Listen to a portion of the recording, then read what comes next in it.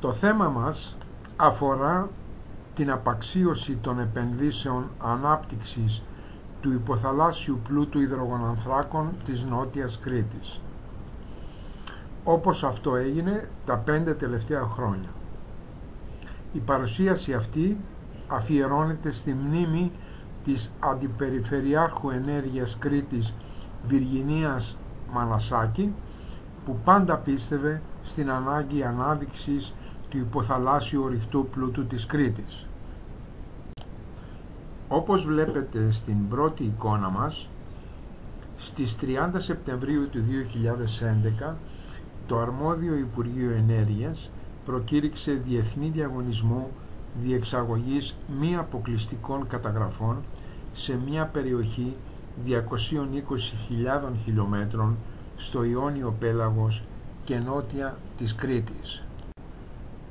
Σκοπός των καταγραφών αυτών ήταν ο εντοπισμός στόχων κοιτασμάτων υδρογονανθράκων για προσέλκυση επενδύσεων, έρευνας και παραγωγής από εταιρείες πετρελαίου.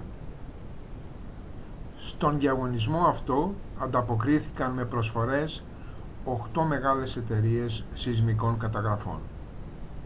Μετά από αξιολόγηση του αρμόδιου Υπουργείου Ενέργειας, οι εργασίες των σεισμικών αυτών καταγραφών ανατέθηκαν σε μία και μοναδική εταιρεία, την νορβηγική PGS. Όπως βλέπουμε στην επόμενη εικόνα μας, υπήρξε οικονομική αδυναμία της νορβηγικής εταιρείας PGS να καλύψει με ένα πυκνό και ομοιόμορφο δίκτυο σεισμικών καταγραφών την τεράστια αυτή έκταση των 220.000 τετραγωνικών χιλιόμετρων. Η PGS εξετέλεσε τελικά ένα αρκετό πυκνό σεισμικό δίκτυο καταγραφών στο Βόρειο Ιόνιο και ένα εξαιρετικά αραιό δίκτυο νότια της Κρήτης. Το συνολικό μήκος των καταγραφών υπολογίζεται ότι είναι της τάξης των 12.500 χιλιόμετρων.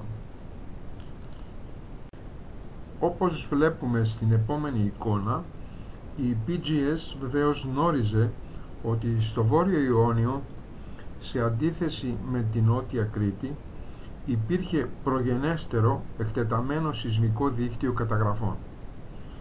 Οι καταγραφές αυτές που κόστησαν πάνω από 60 εκατομμύρια δολάρια ενσωματώθηκαν στο πακέτο των νέων σεισμικών καταγραφών της PGS ώστε το σύνολο των γεωφυσικών υποθαλασσίων στοιχείων να μπορέσουν να πουληθούν ευκολότερα στη διεθνή ερευνητική αγορά υδρογονανθράκων.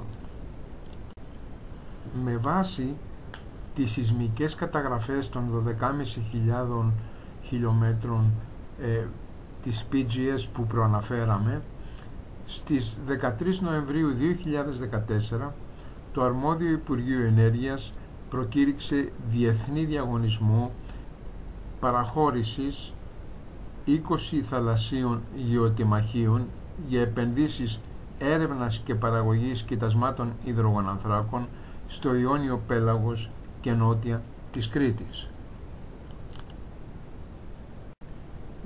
Στην εικόνα διαπιστώνουμε με κόκκινο χρώμα ότι υπήρξε μία και μόνη προσφορά από αλλοδαπή κοινοπραξία στο γεωτεμάχιο 2 και δύο προσφορές από ελληνική εταιρεία στο γεωτεμάχιο 1 και 10 όλες ευρισκόμενες στο Ιόνιο Πέλαγος. Στα γεωτεμάχια νότια της Κρήτης όπου σύμφωνα με όλες τις στατιστικές ενδείξεις τα πιθανά αποθέματα υδρογονανθράκων θα μπορούσαν να είναι δεκαπλάσια των αντιστοίχων αποθεμάτων του Ιωνίου Πελάγους δεν υπήρξε καμία απολύτως επενδυτική προσφορά.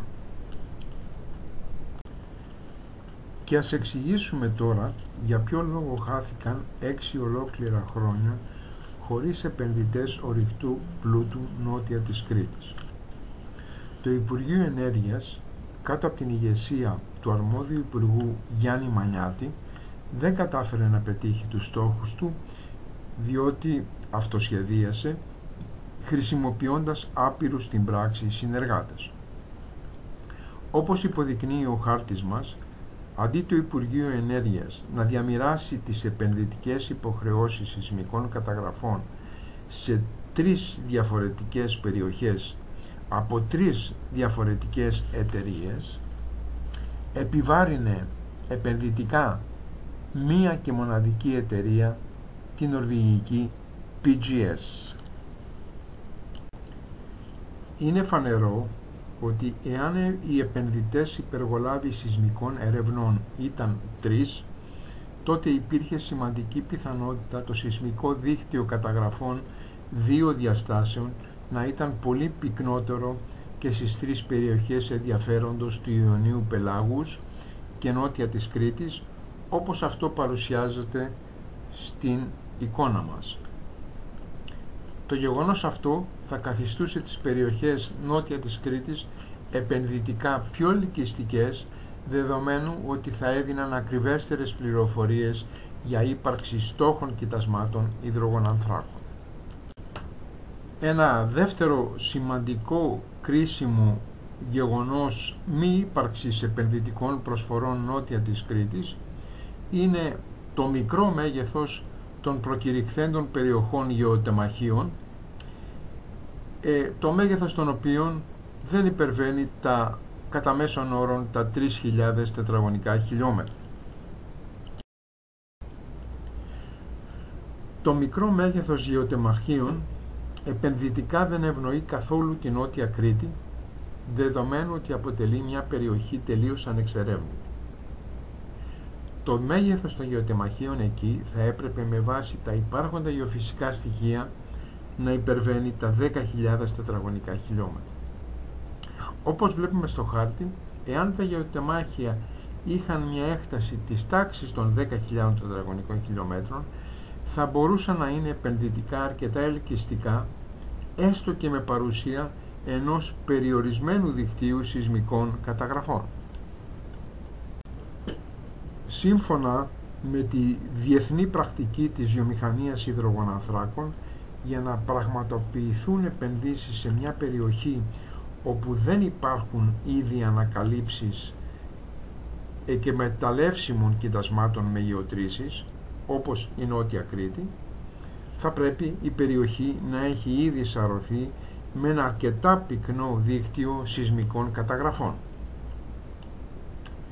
Παράλληλα, για να προσελκυθούν αξιόπιστοι μεγάλοι επενδυτές υψηλού κύρους από την παγκόσμια αγορά υδρογοναθράκων, δηλαδή εταιρείες όπως η Total, η Shell, η ExxonMobil, η Statoil, η Eni κλπ. Στη Νότια Κρήτη θα μπορούσαμε να μεγιστοποιήσουμε το επενδυτικό ενδιαφέρον προκυρήσοντας όπως ήδη προαναφέραμε μεγάλα σε μέγεθος γεωτεμάχια. Καταλήγοντας, θα θέλαμε να σημειώσουμε ότι σε συνέχεια της ανακάλυψης του υπεργιγαντιαίου κοιτάσματος φυσικού αερίου ΖΟΡ νότια της Κύπρου, οι αξιολογήσεις μας δείχνουν ότι υπάρχουν νέες υποθαλάσσιες δυνατότητες ύπαρξης σημαντικών κοιτασμάτων βιογενούς αερίου νότια της Κρήτης μέσα σε ταμιευτήρες υφαλογενών ασβεστολίθων. Απομένει να γίνουν οι κατάλληλοι χειρισμοί προσέλκυσης επενδύσεων ώστε να μην χαθεί πάλι μια νέα επενδυτική ευτερία προσέλκυσης επενδύσεων και να διορθωθούν έτσι τα τραγικά λάθη του παρελθόντος.